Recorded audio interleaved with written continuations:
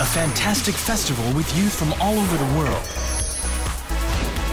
A festival where everyone can become a hero. A chance to meet with K-pop stars.